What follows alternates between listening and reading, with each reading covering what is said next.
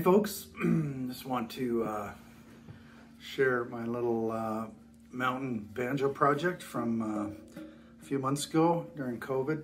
I've been kind of on a little banjo journey from uh, actually from just around the time that COVID started.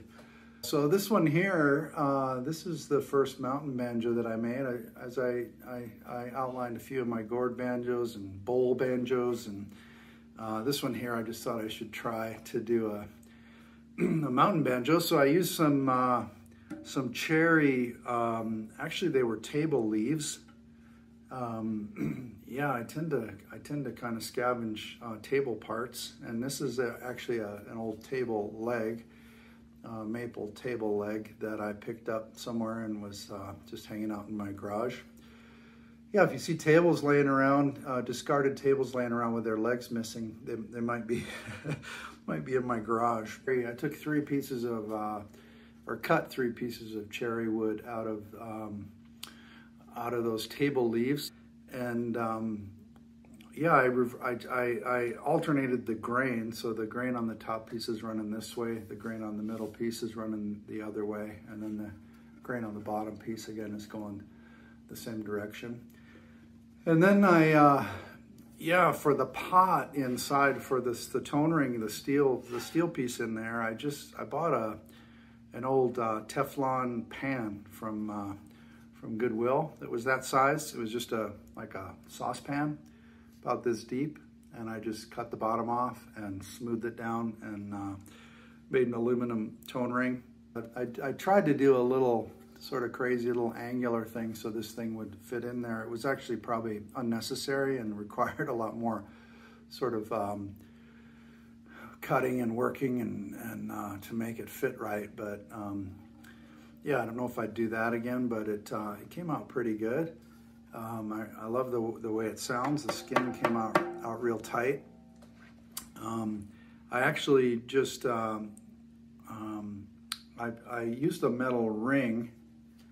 Um, the typical rings that I've been using are uh, that I, I cut out of um, those little tomato, those metal uh, tomato or plant things that you put in your garden have, have nice little hoops in them and it's just about the right size of a ring that you need to uh, to make a banjo uh, a banjo ring. So um, I believe I had a, a, ring in there, which I sewed. I sewed the uh, the wet um, skin to that, and then I just yeah stretched it down over there. It was quite is quite a. Uh, I didn't leave myself enough, enough slack, so by the time I was um, trying to get this thing to seal up, I was I was actually standing on it, jumping on it with all my weight to try to get that skin to stretch down enough so the boards would come together. Finally clamped it into my my vise in my in my garage after jumping on it for a while and managed to get it it closed up and just drove some some wood screws down through there and plugged them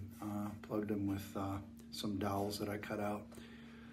Um, for the uh, for the neck, uh, it's kind of had to deal again with the fact that table legs, um, in fact, the, you know, turned table legs have have little turnings in them. So you'll see again one of these little turning spots uh, across the uh, the neck there, where I had to fill it in with um, fill it in with a couple pieces of dowel, uh, and then just uh, sand it down.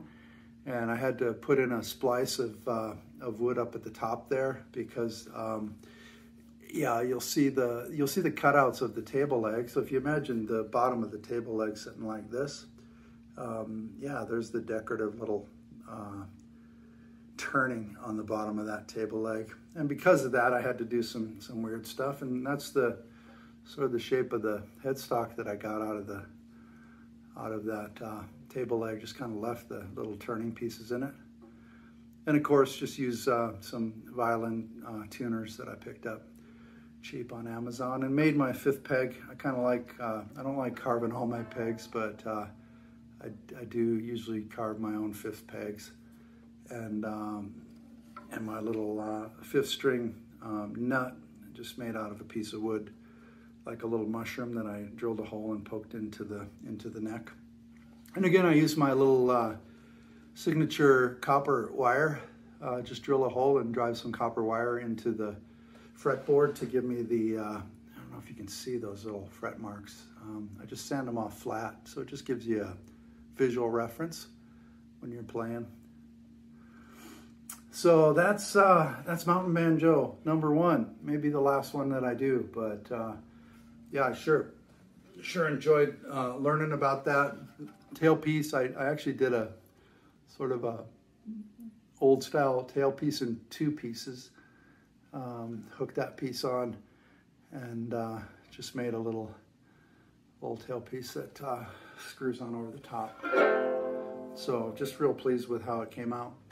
So thanks for watching.